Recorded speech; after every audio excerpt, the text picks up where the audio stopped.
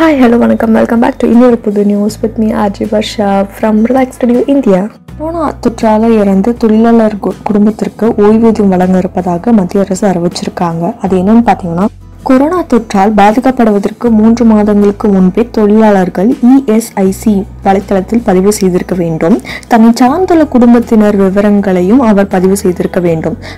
தொழிலாளர் நலச்சங்கம் அமைச்சகம் வெளியிட்ட அறிக்கையில் கூறியிருப்பதாவது கொரோனா தொற்றால் பாதிக்கப்பட்டு உயிரிழந்த தொழிலாளர்களின் காப்பீட்டு கணக்கில் இருந்து இஎஸ்ஐசி அவர்களின் குடும்பத்தினருக்கு ஓய்வூதியம் வழங்கப்படும். இதன்படி உயிரிழந்த தொழிலாளரை சார்ந்துள்ள குடும்பத்தினர் அனைவருக்கும் ஓய்வூதிய தொகை வழங்கப்படும். அதற்கு இரண்டு நிபந்தனைகளை விதிக்கப்பட்டிருக்கின்றன. கொரோனா தொற்றால் பாதிக்கப்படுவதற்கு மூன்று மாதங்களுக்கு முன்பே தொழிலாளர்கள் இஎஸ்ஐசி வலைத்தளத்தில் பதிவு செய்திருக்க வேண்டும். தன்னை சார்ந்துள்ள குடும்பத்தினர் விவரங்களையும் அவர் பதிவு செய்திருக்க வேண்டும். மேலும் அத்தொழிலாளர் இஎஸ்ஐசி கணக்கில் குறைந்தபட்சம் எழுபத்தெட்டு நாட்களுக்கு வரவு வைத்திருக்க வேண்டும். நிபந்தனைகளை பூர்த்தி செய்த தொழிலாளர்கள் கொரோனா தொற்று பாதிப்பால் உயிரிழந்திருந்தால் அவர்களை சார்ந்திருக்கும் குடும்பத்தினருக்கு தினசரி ஊதியத்தில் சுமார் தொண்ணூறு சதவீதமான ஓய்வூதியம் வழங்கப்படும். தொழிலாளர்களின் வருங்கால வைப்பு நிதி கழகம் இபிஎஃப்ஓ செயல்படுத்தி வரும் வைப்பு தொகை சார்ந்த முதலீட்டு திட்டத்தின் கீழ் வழங்கப்பட்டு வரும் அதிகபட்ச தொகையானது ரூபாய் ஆறு லட்சத்தில்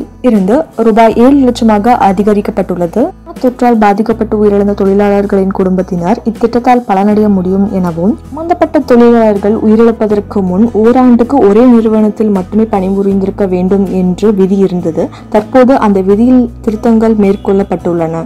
உயிரிழந்த தொழிலாளர் முந்தைய ஓராண்டில் ஒன்றுக்கு மேற்பட்ட நிறுவனங்களில் பணிபுரிந்திருந்திருந்தாலும் அவர்களின் குடும்பத்தினர் இத்திட்டத்தின் கீழ் பலனடைய முடியும். தொற்றால் பாதிக்கப்பட்டு உயிரிழக்கும் தொழிலாளர்களின் எண்ணிக்கை அதிகரித்து வருவதை கருத்தில் கொண்டு கூடுதல் சலுகைகளை வழங்கும் முடிவு மேற்கொள்ளப்பட்டுள்ளது.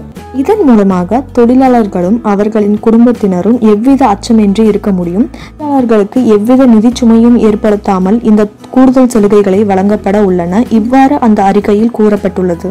அவ்வளவுதாங்க இன்னோட நியூஸ் இந்த வீடியோ உங்களுக்கு இன்ஃபர்மேட்டிவா இருந்துச்சுன்னா லைக் பண்ணுங்க கமெண்ட் பண்ணுங்க ஷேர் பண்ணுங்க அண்ட் மறக்காம நம்ம ரிலாக்ஸ் ரேடியோ இந்தியா சேனலுக்கு சப்ஸ்கிரைப் பண்ணுங்க பெல் பட்டனை கிளிக் பண்ணுங்க.